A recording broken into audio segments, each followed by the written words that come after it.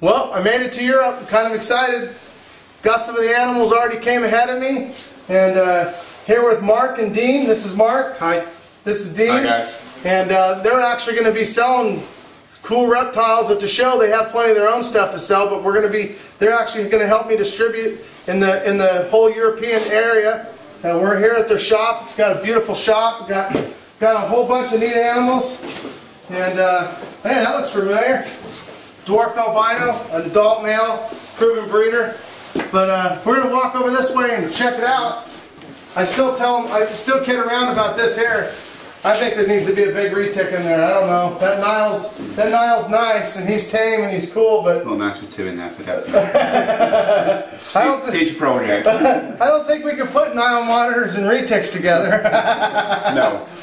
I only want one cage. I'm sorry it happens to be the big one. so anyway, but they got a beautiful place here. Come on, check this out over here. This is a, an area we got a few animals in it, and uh, we're working our way, working our way to Germany. We're going to be going to Hamm, Germany. This this show is the 12th of March. what month? What month? what- This Saturday. yeah, so it's this Saturday. So most of you guys may not even see this, but you know what? We'll probably be at the next show too. They'll have a table already reserved it for the next show. And you guys, if you need any animals from them at all, just give them a call, drop them an email. What's the best email Uh, probably use the uh, www.thereptileroom.co.uk or one of the sales account or if you link between the two sites there's links to come across and everything's backlinked so you all you guys should be able to find through to Jay, Yeah. Garrett, Mark or myself.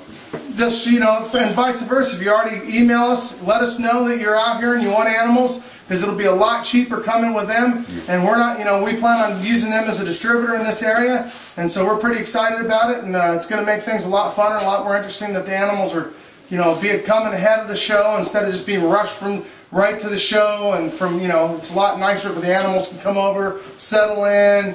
And get taken over to the show instead of a long, a long Yeah, way. yeah, so yeah. it's good for the animals, good for you guys, uh, good for us. Yeah, without a doubt, we'd like to make sure everything's come in, is rehydrated and right before we ship it over again into Hamm. Exactly. Sure so they, they won't be, can Yeah, it's just better for the animals, better for everything. Anyway, you guys have to check us out. Check out the websites, and uh, you're going to be hearing more about us, all this stuff. And uh, pleasure doing business. Looking forward to the show, and we'll talk to you guys soon. See you guys.